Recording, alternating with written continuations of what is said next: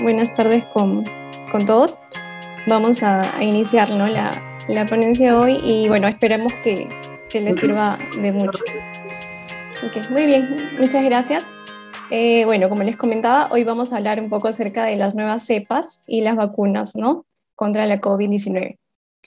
Bien, para iniciar, ¿no? Eh, es importante poder conocer algunos términos, ¿no es cierto? Siempre estamos escuchando acerca de eh, bueno, de las variantes, de las cepas, ¿no? Pero ¿qué son exactamente? ¿Son lo mismo?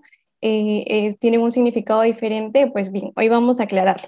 Entonces, eh, bueno, un, término que se usa mucho, ¿no? Y, hemos escuchado es el, término de, de, mutación, ¿no? Este término hace referencia a cualquier cambio que pueda tener el virus, ¿no? En su material genético. Y bueno, el conjunto de, de estos cambios ¿no? Es decir, la agrupación de varias mutaciones mm, va a, originar, ¿no? Lo que se, denomina o se conoce como una variante, ¿no? Y hoy, y bueno, esta, esta variante pues va a inducir un cambio significativo, ¿no? Como eh, las variantes las cuales hemos venido escuchando, ¿no? Es decir, escuchamos acerca de la variante británica, por ejemplo, ¿no? Este, este es un, tipo de variante que se dio a conocer, ¿no? Más o menos eh, el año pasado. Entonces, eh, la idea es esta, ¿no? Pequeñas, eh, pequeños cambios en este virus se considera mutación. Y un conjunto de estos cambios, un conjunto de estas mutaciones nos va a dar una variante. Entonces, también, ¿no? Se menciona el, el, término de cepas, ¿no es cierto? Entonces, para, bueno, para hablar de, de cepas, también no es un, conjunto de estos, de estos cambios en el virus. Sin embargo, eh, tienen un cambio, un cambio significativo, ¿no? Sin embargo, hasta el momento eh, no tenemos ¿no? Una, una nueva cepa originada, ¿no? A, raíz de la que ya conocemos, a raíz del SARS-CoV-2, ¿no? Entonces, eh, se podría decir que el SARS-CoV-2 sí, sin embargo, es, sí es una, una nueva cepa, ¿no? Que se originó a partir de, de otras, de otras, eh, de otras, eh, otros virus, ¿no? De esa familia, de los coronavirus, ¿no? Entonces es, es importante conocer ello, ya que eh, la rapidez y la intensidad de, de, propagación de alguna de ellas puede explicar, ¿no? Las, las diferencias genéticas y los hábitos también que nosotros tenemos, ¿no? Es importante para, para la parte ¿no? de la salud pública, conocer eh, cuáles son estas nuevas variantes, ¿no? Para poder tener todos los cuidados necesarios. Entonces, eh, bueno, ya explicamos un poco, ¿no? ¿Qué, ¿Qué significa cada uno de ellos, ¿no? Entonces, ya sabemos que cuando nos hablan de variantes estamos eh, haciendo referencia, ¿no? A que es un virus que, que tiene muchas mutaciones. Y bueno, dentro de, la agrupación de estas, de estas nuevas eh, variantes, ¿no? Como la Organización Mundial de la Salud las ha clasificado, es en variantes preocupantes, ¿no? Y variantes de interés. Las variantes eh, preocupantes no son eh, variantes que van a tener una, un aumento de la transmisibilidad, ¿no? Y lo cual va a ocasionar un, un cambio perjudicial, un cambio, un cambio también en nuestras medidas, ¿no? Sanitarias. Hay un aumento de la virulencia y por tanto eh, un aumento ¿no? de, de la presentación, eh, de la presentación clínica, ¿no? Es decir, que estas nuevas eh, variantes podrían estar ocasionando, digamos, casos graves, ¿no? E incluso muertes. Entonces, a diferencia de, de, los, de las variantes originarias, ¿no? O de la primera variante que, que se encontró del, del, del COVID, ¿no? Entonces, eso, como les digo, implica mucho, ¿no? Y es muy importante para nosotros poder mejorar nuestras medidas sanitarias, ¿no? Es decir, eh, las medidas sociales, mantener las medidas sociales, ¿no? De salud pública, eh, los medios de diagnóstico también van a cambiar, ¿no? Y con respecto a las vacunas también, y sobre los tratamientos, ¿no? Ya que estamos hablando de variantes que van a ser, eh, van a tener un, un, mayor índice, una mayor tasa de, de casos graves, ¿no? Casos severos. Entonces, esas variantes que son eh, preocupantes, ¿no? Así es como, como le denominan a estas variantes, son las variantes que tenemos en este cuadro, ¿no? La variante alfa, la variante beta, gamma y la que últimamente estamos escuchando mucho, ¿no? La variante delta. Eh, todas estas eh, variantes se han dado a conocer, ¿no? bueno, a finales del año pasado, ¿no? Como el caso de la, de la variante alfa o la variante beta, ¿no? Y la variante delta, de la cual hemos escuchado ya eh, a fines de mayo, ¿no? Y ya tenemos también casos eh, de esta variante, ¿no? Entonces, ahora más adelante les voy a mostrar, ¿no? Más o menos cómo, cómo estamos en el Perú con respecto a estas, a estas nuevas variantes, ¿no? Bueno, otro, eh, otra, otra clasificación que le da la Organización Mundial de la Salud a las variantes son estas, ¿no? las variantes de, interés. Son variantes eh, también nuevas, ¿no? Sin embargo, eh, no, no tienen, digamos, tanto, no han, no, no han ocasionado, digamos, tanto impacto, ¿no? Como las otras variantes que, que se han mencionado, ¿no? Estas variantes son nuevas, tienen también un cambio ¿no? en, la, en, la, transmisibilidad, ¿no? También en los casos podrían ocasionar mayor número de casos moderados o casos graves, ¿no? Sin embargo, eh, no ha tenido tanto impacto, ¿no? Como las variantes que, que, son de preocupación. Y bueno, estas variantes de interés son las variantes lambda y las variantes mu, ¿no? De repente no habíamos escuchado mucho sobre, sobre estas variantes, sin embargo, eh, sí, como, como lo pueden observar en el cuadro, ya eh, hemos, hemos tenido ¿no? casos reportados de, de, estas, de estas variantes. ¿no? La, la, variante, por ejemplo, lambda se identificó aquí, en Perú, y la variante mu se, se, se detectó ¿no? en Colombia. Entonces, eh, son, son variantes que, que, se han detectado, que se han encontrado, que se han estudiado, pero sin embargo no conocíamos mucho de ellas, ¿no? o de repente no habíamos escuchado, porque el impacto no fue tanto como el de las otras variantes, ¿no? como por ejemplo la delta. Y bueno, aquí tenemos eh, un cuadro, ¿no? Es un cuadro de, del Instituto Nacional de Salud. Entonces, aquí podemos observar, y ya les voy explicando un poquito, ¿no? Acerca de los tipos de variantes que se han, que se han detectado, ¿no? Esas son, todas estas variantes son las que se han detectado aquí en Perú, ¿no? De, de acuerdo a los, a los diversos estudios que se han hecho. Entonces, tenemos, bueno, en esta tabla podemos observarnos según la semana epidemiológica. Es decir, tenemos eh, data ¿no? o información desde finales de mayo hasta la semana pasada. ¿no? Esto se va contando por semanas. Entonces, podemos observar que a fines de, de mayo, ¿no? en la última semana de mayo, ya teníamos casos detectados de las variantes gamma y las variantes lambda. Y bueno, igual para las primeras semanas de junio. Sin embargo, también podemos observar que ya hay eh, una aparición ¿no? de la variante Delta a, inicios de junio, ¿no? que es más o menos cuando se, detectaron los primeros casos eh, de, la variante, de la variante Delta. ¿no? Entonces, al, inicio fueron eh, muy poquitos casos, ¿no? casos aislados, es decir, eran uno, dos o tres casos que se habían detectado, pero eh, poco a poco fue aumentando, ¿no? Entonces ya no, no se reportaba tanto de repente. Es más, ahora ya tampoco se reporta mucho, ¿no? La, la cantidad de, de, variantes que se van detectando. Sin embargo, podemos observar ya que eh, en, este, en este último mes, ¿no? Es más, incluso hasta la semana pasada hay un, hay un gran aumento, ¿no? De la variante Delta. Entonces podríamos decir que la variante Delta prácticamente está ocupando el, el mayor porcentaje, ¿no? Entonces estamos llegando casi a la totalidad de esos casos eh, de COVID que se han detectado y son eh, casos de variantes Delta. Entonces, es más o menos así como ha ido el, el avance, ¿no? De estas, de estas variantes, ¿no? Y sí, definitivamente, eh, esa, esa variante que causa ¿no? preocupación o pertenece a este grupo de variantes preocupantes, bueno, está, está la delta, ¿no? Y vemos que, que ha avanzado pues muchísimo, ¿no? Los contagios. Bueno, eso era ¿no? para que tuvieran el, el conocimiento ¿no? acerca de estas variantes y cómo, y cómo se encuentra ¿no? Eh, la situación ahora en el Perú. Bien, ahora les, les voy a hablar un, un poco acerca de, de, las vacunas, ¿no? algo que es muy importante. Y bueno, yo creo que ya en este grupo nos debemos encontrar por lo menos todos con la primera vacuna, ¿no? Si es que no, ya tenemos las, dos, dosis completas, ¿no? Y, y bueno, hay a veces se hace la pregunta, ¿no? ¿Cuál, podría ser o cuál es la mejor vacuna contra, contra la COVID-19, ¿no? Y bueno, la mejor vacuna contra la COVID-19 en realidad es la, que, la primera que, que esté disponible para nosotros, ¿no?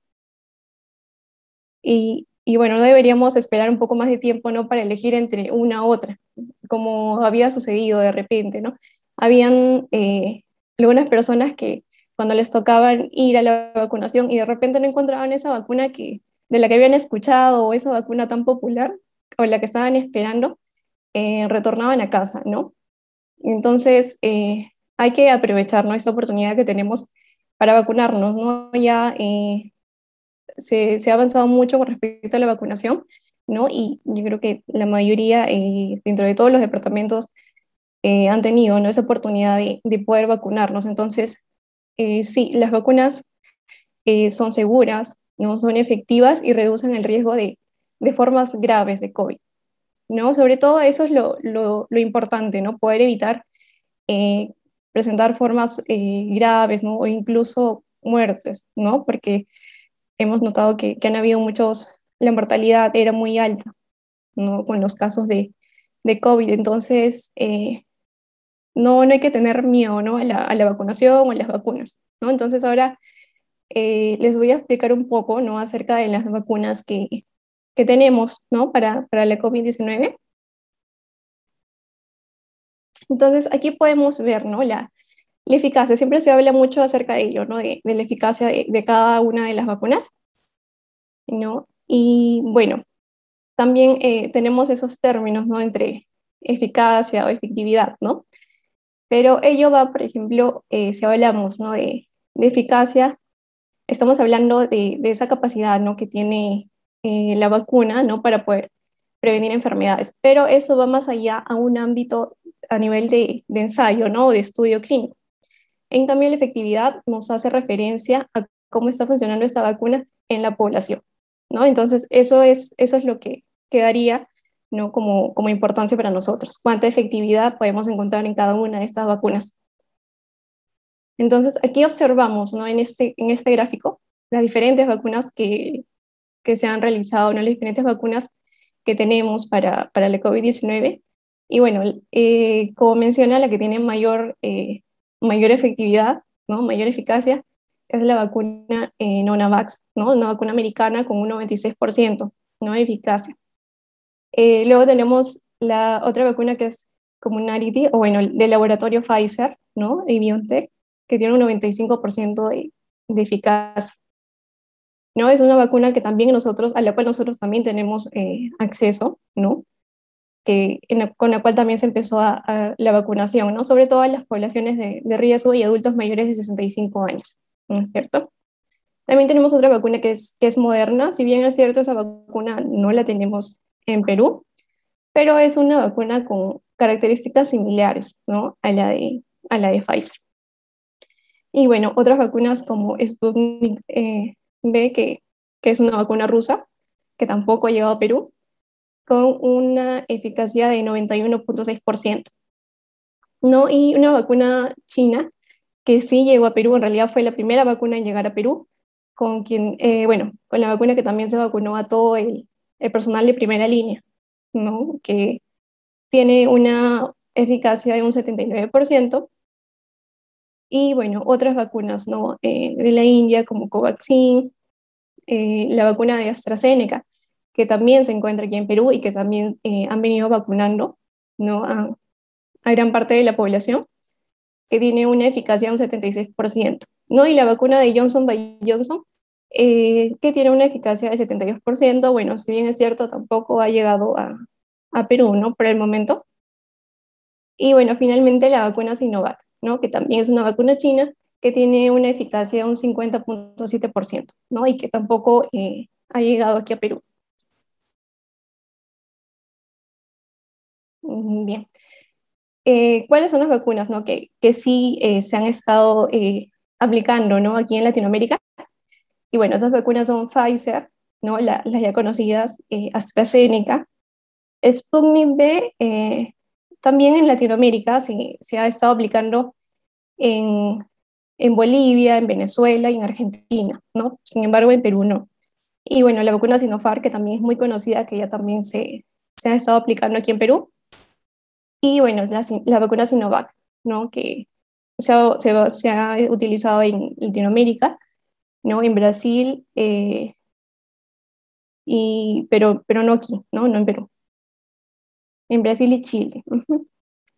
Y bueno, ahora para comentarles acerca de, de cada una de las vacunas, ¿no? Sobre todo las que tenemos eh, aquí, ¿no? Y más o menos cómo es que, que es su, su, mecanismo de acción, ¿no? Entonces, vamos a empezar con esta vacuna que creo yo que es la más popular, ¿no? Que hablan mucho acerca de ella y que la mayoría de la población ha querido tener acceso, ¿no? A ella, que es la vacuna del de laboratorio Pfizer, ¿no? Y BioNTech, que es una vacuna americana, ¿no? Ese tipo de vacuna es una vacuna de tipo ARN mensajero, ¿no? Entonces, para explicarles un poco acerca de, de cómo es la acción de, de esta vacuna, ¿no? En, términos muy, eh, muy sencillos, ¿no? Es, esto funciona más o menos así, ¿no? Es, es decir, eh, se, se, inyecta, ¿no? Este material genético que es el ARN mensajero, ¿no? Y al llegar a nuestras células, eh, se lee, ¿no? Ese mensaje y nosotros empezamos a producir, ¿no? Una, una proteína una proteína que se asemeja mucho o que es parte ¿no? de este virus del COVID-19. Entonces, eh, este virus, eh, bueno, muy similar a este virus del COVID-19, ¿no? Y nuestras propias células, ¿no? Se activan y tienen una acción sobre ellos, ¿no? Ahí es cuando inicia esta, esta inmunidad, ¿no? Producimos, empezamos a producir estos anticuerpos a forma de defensa, ¿no? Y bueno, eh, lo que ocurre con esto es que una vez leído ¿no? este mensaje, sufre un, bueno, es, un término médico ¿no? que se llama apoptosis, que quiere decir que es una muerte programada, ¿no? Entonces, ingresa, se lee este mensaje, producimos nuestros anticuerpos y este material que ingresó se destruye, ¿no? Eso, eso es lo, lo interesante de repente o lo novedoso, ¿no? Eh, siempre se ha hecho estos estudios ¿no? acerca de estas vacunas ARN, sin embargo, es la primera vez que podemos tener acceso a ellas. ¿no? Y bueno, lo importante ¿no? acerca de, de las dosis. Bueno, las dosis administradas son dos y se utiliza con un intervalo aproximadamente de tres semanas ¿no? o 21 días. Eh, se almacena entre no, menos 90 y menos 60 grados. ¿no? Se utilizan unos congeladores especiales para ese tipo de vacunas. Y bueno, la, eficacia ¿no? contra las infecciones sintomáticas es aproximadamente un 95%, ¿no? según los ensayos clínicos eh, demostrados, y la efectividad un 94%, ¿no? según eh, los resultados que pueden llegar ¿no? de, de, un estudio de Israel, lo cual confirma ¿no? su, su efectividad. Y bueno, reduce en un 98.9% las hospitalizaciones y las muertes por COVID, ¿no? Ese, esa es la, la meta, el objetivo importante ¿no? de las vacunas, el poder evitar estas formas graves, ¿no? Y, y, en el peor de los casos, una muerte por COVID. Eh, y bueno, tenemos eh, otras vacunas, como la vacuna AstraZeneca de Reino Unido, que eh, es una vacuna que también se viene aplicando aquí en el Perú, ¿no? Y que el tipo de vacuna es una vacuna de tipos eh, de tipo vector viral, ¿no? Más o menos cómo funciona este vector viral. Eh, a ver, lo, lo, explicamos de esta forma, ¿no? Es decir, eh, se, se, coloca, ¿no? Se aísla en un laboratorio un virus, digamos, inocuo, ¿no? Un virus muy, muy inofensivo, ¿no? Vamos a utilizar la estructura de este virus que es inofensivo y vamos a colocarle unas pequeñas proteínas o unos fragmentos de proteína del virus del COVID, ¿no? Entonces, eh, ese es un, un tipo de, de, vacuna en, en, el que voy a usar una, una estructura o un, o un virus eh, inocuo, ¿no? Como transportador para estos pequeños fragmentos de, del virus de COVID, ¿no? Es más o menos así como, como funciona, ¿no? Eh, tengamos en cuenta de que lo que las vacunas eh, buscan, ¿no? o el objetivo de las vacunas es poder eh, activar mi sistema inmune, ¿no? para que nosotros mismos podamos producir eh, nuestros anticuerpos ¿no? contra, contra este virus. Entonces, eh, en, todos, en todos ellos, ¿no? en todas las vacunas, siempre, siempre hay ese tipo ¿no? de, de presentación mm, y de que mi cuerpo pueda producir estos, estos anticuerpos. Entonces, bueno, es más o menos así como funciona este tipo de vacuna.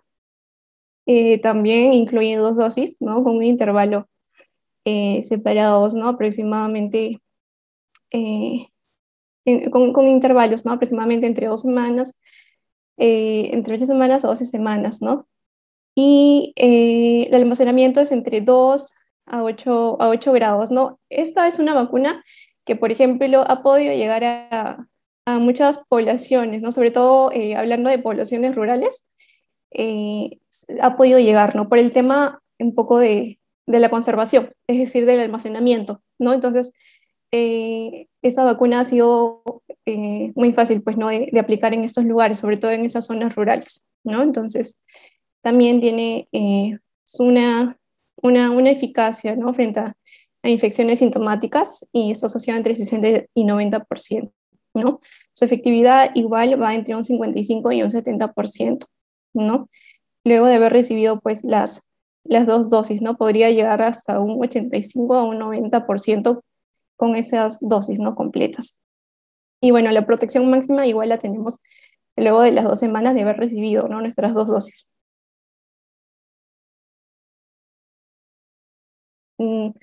Bueno, hablando de, igualmente otra, otra vacuna como les comento, esa vacuna eh, Sputnik D es una vacuna rusa, sin embargo, se ha aplicado sí en Latinoamérica, pero no, no ha llegado ¿no? aún aquí a, a Perú. Y bueno, el, el, mecanismo es similar ¿no? al, anterior, también es un, es un vector viral. Eh, también se, se necesitan dos dosis, ¿no? Y están separadas entre un intervalo de mínimo de tres semanas. ¿no? El almacenamiento eh, es con menos de 18 grados y bueno, presenta una eficacia de un 91.6% y una efectividad entre el 92 al 97.6%, 97.6%, ¿no? Cuando hablamos de efectividad, recordemos que estamos hablando, ¿no? De, de, la relación de la vacuna con respecto a la población, ¿no? Entonces, eh, igualmente su protección máxima, en promedio, ¿no? Si nos damos cuenta, están entre una o dos semanas luego de haber recibido mis dos dosis. Y bueno, otra, otra vacuna, que es una vacuna china, ¿no? Sinopharm, como les comentaba, es la primera vacuna en llegar al Perú, ¿no? Y que, y que ha recibido eh, el personal de salud, ¿no? En su totalidad. Eh, esta, esta vacuna es un tipo de vacuna que es un virus eh, inactivo, ¿no? Para saber o tener un poco de idea de cómo es este virus inactivo, ¿no? Es, es, más o menos así, ¿no? este virus se aísla en un laboratorio y es sometido, eh, es sometido, por ejemplo, a radiación, es sometido a calor, ¿no? sustancias químicas que van a hacer que este virus se inactive o en, o en todo caso muera. ¿no? Entonces, eh, sí, ¿no? Nos, cuando nos colocan esta vacuna, nos están colocando unos fragmentos de, de, este virus. Sin embargo, es un virus eh, inactivo, ¿no? como le digo, que, que fue eh, previamente, ¿no? Eh, que fue previamente tratado, ¿no? Entonces, igualmente se hace, es necesario tener nuestras dos dosis, ¿no? Con un intervalo separado, ¿no? Aproximadamente um, de 21 días, ¿no? O entre tres semanas. El almacenamiento es entre 2 a 8 grados, la eficacia es el 79.34% y la efectividad de un 50.4%. ¿no? Aquí sí hay eh, una, una, notable diferencia, ¿no? En cómo funciona esta vacuna en los ensayos clínicos y cómo es en la población, ¿no? Sin embargo, eh, el, el presenta una efectividad del 94%, ¿no? Para lo que es la prevención de las formas graves, ¿no? De, de COVID. Y bueno, igualmente, eh, para poder lograr la protección máxima, necesito tener mis dos vacunas, ¿no? Y se da a las dos semanas luego de haber recibido esta última.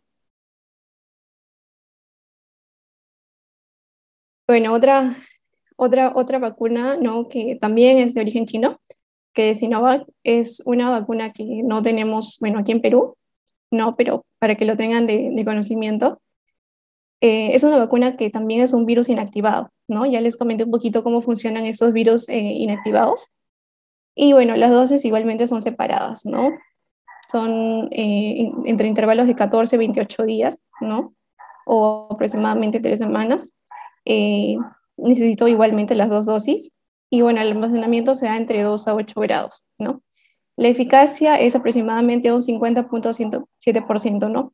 Recuerden que esta vacuna era la que se encontraba eh, al final, ¿no? De la tabla, la que tenía menos eficacia, ¿no? Y bueno, su efectividad puede estar entre un 55%, ¿no? Con respecto a, la, enfermedad, ¿no? A, los síntomas de, COVID. Y el 100% para lo que es la, la prevención, ¿no? De los casos graves de COVID que, que puedan requerir, ¿no? Una hospitalización o en el peor de los casos que conlleven a una muerte.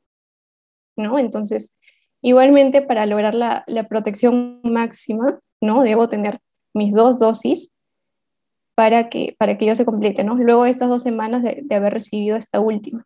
Entonces ahí logramos esa protección máxima. Bien, este también es un, tema muy importante, ¿no? Y, y, es bueno re, recordarlo. Entonces, eh, ¿qué efectos secundarios podría presentar ¿no? luego de haber recibido mi vacuna de COVID? Eh, bueno, eh, todos los, los, los, síntomas que podríamos presentar posteriores ¿no? a esta vacunación son, son signos normales, ¿no? Son considerados dentro de los parámetros normales posteriores a nuestra vacunación, ¿no? Es decir, es una respuesta de nuestro organismo. Entonces, estos efectos secundarios eh, pueden, si bien es cierto, afectar la capacidad ¿no? para realizar nuestras, nuestras actividades diarias. Eh, sin embargo, no deberían ser mayor a, a, dos días no posteriores a mi vacuna. Entonces, eh, algunas personas, no todas, podemos tener estos efectos, ¿no? Y bueno, los efectos más secundarios más comunes que se han reportado son los siguientes, ¿no? vamos a tener los efectos que, que puedo producir en, en, el sitio o en el lugar de, de, inoculación, ¿no? es decir, en la zona de mi vacuna. Entonces, puedo presentar eh, un poco de dolor, podría presentar también enrojecimiento ¿no? o hinchazón. Todo ello relacionado a la zona donde recibí mi vacuna. Ahora, también puedo tener eh, síntomas sistémicos ¿no? o síntomas en el resto de mi cuerpo, que podrían ser eh, cansancio, ¿no?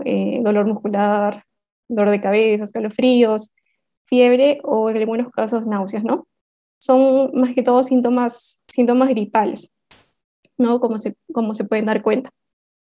Entonces, ¿qué podría hacer tal vez para, para, para mejorar, ¿no? Eh, estos síntomas o para reducir estos efectos, ¿no?